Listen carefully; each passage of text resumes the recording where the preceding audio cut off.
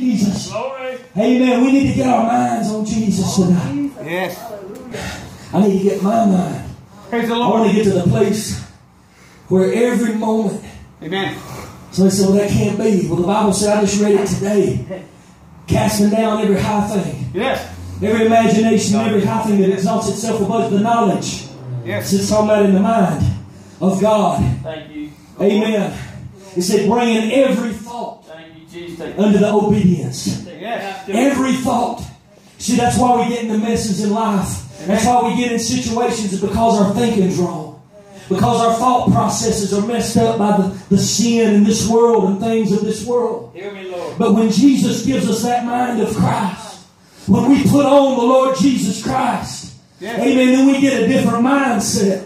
And the things we used to hate, we begin to love. And the things we used to love, we begin to hate. And we don't even know why. We don't even realize what's going on. But it's because there's an operation of the Spirit of God taking place inside of us. Yes. Thank you, Lord. Indeed. And He's making us a new creature. Taking the both- Lord. Taking both me and making one. Sinful And nature. He said they saw no man say Jesus only. Thank you, Lord. The truth. Everything is in Jesus. Thank you, Lord. They call me all kind of names. Church folks call me all kind of names. Because I believe in Jesus. Beautiful. I'm not looking for nobody but Jesus. Amen. Amen. Jesus is the way. Amen. He's the truth. He's the life. Yes. He told me one time, he said, if I'm the way, then every other way is a false Thank way. Right. If I'm the truth, then everything else is a lie. to a man with the end of If I'm the life, then everything else is death. Thank you, Lord. Religion will kill you. Amen. Tradition will kill you. But Jesus will step right out of eternity. He'll step right out of the throne room of God and step right into your life. He'll reach right down. The Bible said the Lord's arm's not shortened, that it cannot save. Jesus can reach right down inside of us. Yes, Lord. Seneca, South Carolina. And meet our needs. God's going to do something here. Hallelujah. Amen. Happy Be a wedding. tent or something. It is well. But right here. We have one set up right there.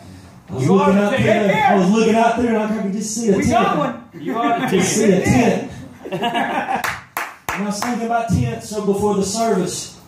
You know what I like about tents? I love tents. We can do it. What I love about tents is they don't have, unless you put the curtains down, they don't have Yeah. walls. Right. The tent don't have no walls. Come on. It's just a top to keep you sheltered, but there's no walls. That means it's whosoever will, anything, everything, come on in. Take of this water of life freely. Where religion will shut out people. Religion will tell people you too nasty, you too bad, you don't smell good enough. You ain't got the right clothes on, you ain't fixed up good enough. The, the house of the true and living God will say, come on in. It don't matter if you're filth, if you're covered in the filth of the swine, if you're covered in the filth from the hog pen of this world, the, what, the house of God Open the door. is open door policy. Praise the Lord. I tell people, somebody said, man, you're crazy. Beautiful. I am. but I've been through enough to make five people go crazy. And I ain't that old yet. Amen. Ain't even that old yet. Praise the But you know what? It ain't about what we go through. Amen.